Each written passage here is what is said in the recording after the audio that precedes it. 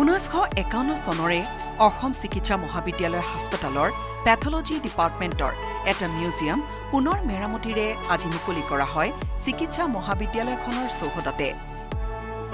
এক প্ৰকাৰ ঐতিহাসিক স্বাক্ষৰ বহন কৰি থকা মিউজিয়ামটো মানৱ দেহৰ বিভিন্ন অংগ সংৰক্ষণ কৰি ৰখা হৈছে। চিকিৎসা শাস্ত্ৰৰ অধ্যয়নত সহায় বিভিন্ন ৰোগৰ ডায়েগনচিছ প্ৰক্ৰিয়া ইত্যাদিত চিকিৎসকৰ ক্ষেত্ৰতো সহায়ক ইয়াত সংৰক্ষিত স্পেচিমেনসমূহ ব্ৰিটিছ আমোলৰ দিনৰে বহু স্পেচিমেন ইয়াত সংৰক্ষিত হৈ আছে। দেশৰ বিভিন্ন প্ৰান্তৰৰ পৰা মানৱ দেহৰ অংগ ইয়াত সংৰক্ষিত।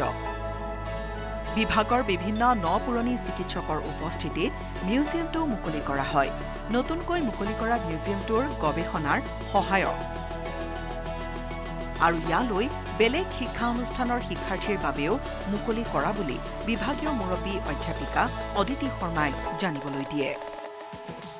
যিহেতু এইটো ঊনৈছশ একাৱন্ন চনত তাৰপিছত এন চি ডে ছাৰে এইটো এটা আইডিয়া লৈছিলে যে ইয়াত মিউজিয়ামটো কৰিব লাগে। তাৰ উপৰিও তাৰ পৰৱৰ্তী সময়ত পৰৱৰ্তী প্ৰফেচাৰসকলেও বহুত অৰিহণা আছে এই মিউজিয়ামটোত কিন্তু যিহেতু আমাৰ পেথলজি বিভাগটো মিউজিয়ামটো ওচৰৰ পৰা বেচিক বিল্ডিংলৈ উঠি গ'ল। গতিকে সেইকাৰণে এই মিউজিয়ামটো আমাৰ চকুৰ আঁতৰ হৈ গ'ল। আঁতৰ হোৱাৰ কাৰণে আমাৰ বহুত মেৰামতিৰ অভাৱতো বহুতখিনি বেয়া হৈ গৈছিলে। কিন্তু বৰ্তমানৰ অধ্যক্ষ মহোদয় আৰু আমাৰ সহযোগত সকলোৰে সহযোগতে এতিয়া এটা নতুন প্ৰাণ পাই উঠিলে।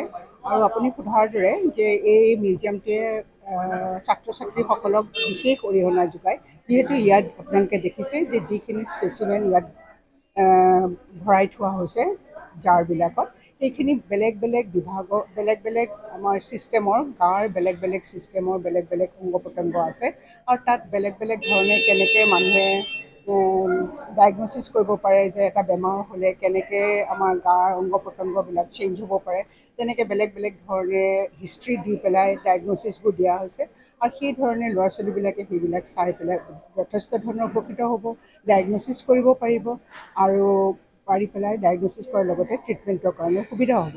ইয়াৰোপৰি আমি অধ্যক্ষ মহোদয়ে চিন্তা চৰ্চা কৰি আছে যে ইয়াৰোপৰি এই স্পেচিমেনখিনি বা এই মিউজিয়ামটো চাবৰ কাৰণে যদি বেলেগ বেলেগ স্কুলৰ ল'ৰা ছোৱালী আনিব পাৰে কলেজৰ ল'ৰা ছোৱালী আনিব পাৰে তেতিয়া তেখেতসকলেও বেলেগ ধৰণে উপকৃত হ'ব আৰু মেডিকেল ছায়েন্সৰ প্ৰতিও তেখেতসকল আগ্ৰহ হ'ব যাতে তেখেতসকলেও পঢ়া শুনা কৰি পেলাই মেডিকেল ছায়েন্সৰ প্ৰতি আকৃষ্ট হৈ পেলাই মানৱ জাতিৰ কাৰণে সহায় কৰিব পাৰে ডায়েগনচিছ কৰিব পাৰে সহায় কৰিব পাৰে ইয়াত তেনেকৈ গৱেষণাৰ কাৰণে কোনো এতিয়া ধৰণে কোনো হেৰি কৰি হোৱা নাই এতিয়ালৈকে বৰ্তমানলৈকে। কিন্তু চিন্তা চৰ্চা কৰি থকা হৈছে।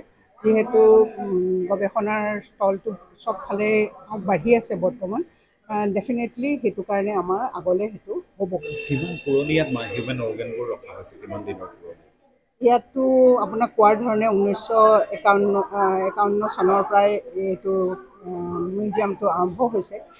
বেলেগ বেলেগ ঠাইৰ পৰা তথ্যমতে বেলেগ বেলেগ ঠাইৰ পৰা ভাৰতৰ বিভিন্ন ঠাইৰ পৰা স্পেচিমেনবোৰ অনা হৈছিলে অনাই পেলাই প্ৰিজাৰ্ভ কৰি থোৱা হৈছে। আৰু আপোনালোকে দেখিব যে বহুত বেলেগ বেলেগ ধৰণৰ কনজেনিটেল টুইন আছে বেলেগ বেলেগ ধৰণৰ কনজেনিটেল এনমলিজ আছে বেলেগ বেলেগ ছিষ্টেমৰ বেলেগ বেলেগ ধৰণে আমি সজাই থোৱা হৈছে। সেইমতে বেলেগ বেলেগ ধৰণে অংগ প্ৰত্যংগবিলাকৰ বেলেগ বেলেগ বেমাৰৰ বেলেগ বেলেগ ধৰণে সজাই থোৱা হৈছে আৰু সেইমতে নামাকৰণো কৰা হৈছে আৰু মানুহে চাই পেলাই গম পাব যে এইটো এইটো ছিষ্টেমৰ আপুনি দেখিছে এই মিউজিয়ামটো আপুনি ইয়াৰ হিচাপে দেখিছে। আপুনি কৈছে বহুত পুৰণি হয় এইটো যথেষ্ট পুৰণি।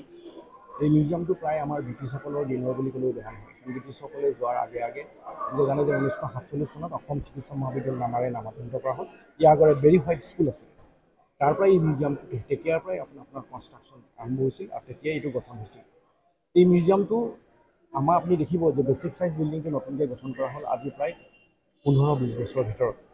সেই তালৈ ডিপাৰ্টমেণ্টটো উঠি গ'ল। আগতে এই ডিপাৰ্টমেণ্টটো আমাৰ ইয়াতে আছিল উঠি যোৱাৰ পিছত তাত এটা মিউজিয়াম তৈয়াৰ কৰা হ'ল গতিকে সেইটো এটা নতুন মিউজিয়াম যিটো আমাৰ এইটো পুৰণা মিউজিয়াম আছিলে আৰু এইটো এটা বৃহৎ মিউজিয়াম গতিকে এইটো কাৰণে আমাৰ ছাত্ৰ ছাত্ৰীসকলে পুৰণা যিসকল ছাত্ৰ ছাত্ৰী বা পেথলজি ডিপাৰ্টমেণ্টৰ লগত যিসকল জড়িত বিশেষকৈ এই ছাত্ৰ ছাত্ৰী তেখেতসকলে এই মিউজিয়ামটো ৰিকনষ্ট্ৰাক্ট কৰাৰ কথা ভাবিলে ৰিন'ভেট ৰিমডেলিং ৰিকনষ্ট্ৰাক্ট কৰি পেলাই আমি যিখিনি লাগে তেওঁলোকৰ বহুতখিনি বৰঙণি আছে। যোৱা প্লেটিনাম জুবুলীত তেওঁলোকে যিখিনি বৰঙণি আগবঢ়াইছিলে সেই সকলোখিনি ইয়াৰ এক্সিকিউটিভ কমিটিয়ে ঠিক কৰিলে যে এই প্লেটিনাম জুবুলী পৰা আমি এটা ঠিক কৰোঁ যাতে আমাৰ এই মিউজিয়ামটো যাতে ঠিক হয়। গতিকে সেই মিউজিয়ামটো তেওঁলোকে আজি প্ৰায় পাঁচ ছমাহ ধৰি ইয়াৰ কাম আৰম্ভ হৈছিল আৰু বহুত মিস্ত্ৰীয়ে ইয়াত কাম কৰিছিল আৰু বহুতকেইজন লোকৰ অৱদানৰ ফলত আজি এই মিউজিয়ামটো গঢ় লৈ দিছে আৰু আমি এতিয়া হেৰিটেজ হিচাপে এই মিউজিয়ামটো ৰখাৰ ব্যৱস্থা কৰিম। যিহেতু এই মিউজিয়ামত আপুনি দেখিব বহুতবিলাক মানুহৰ অংগ পতংগ আছে। বিশেষকৈ হাৰ্ট লাং ইণ্টেষ্টাইন কিডনী বিভিন্ন জেগাত বিভিন্ন ধৰণৰ বেমাৰৰ অংগ পতংগবিলাক আছে। যিবিলাক আমাৰ এম বি বি এছ ষ্টুডেণ্টৰ কাৰণে খুব দৰকাৰ। ইভেন হায়াৰ স্কুল এডুকেশ্যনৰ কাৰণেও দৰকাৰ। গতিকে সেইখিনি বস্তু তেওঁলোকে তেখেতসকলে চাব পাৰিব। আৰু ভৱিষ্যতে আমাৰ যিসকল চিকিৎসা বিজ্ঞানৰ লগত জড়িত হওঁ বুলি বা পঢ়িবলৈ ইচ্ছা কৰে তেখেতসকলৰ ষ্টুডেণ্টসকলো আমাৰ আশে পাশে থকা যিসকলে চাবলৈ আহে এইটো এটা হেৰিটেজ বিল্ডিং তেওঁলোকে চাব পাৰিব। আৰু ইয়াৰ পৰা তেওঁলোকে বহুত উৎসাহ লাভ কৰিব। মই ভাবোঁ। ডিব্ৰুগড়ৰ পৰা Jesim Ahmed news eighteen Assam north east.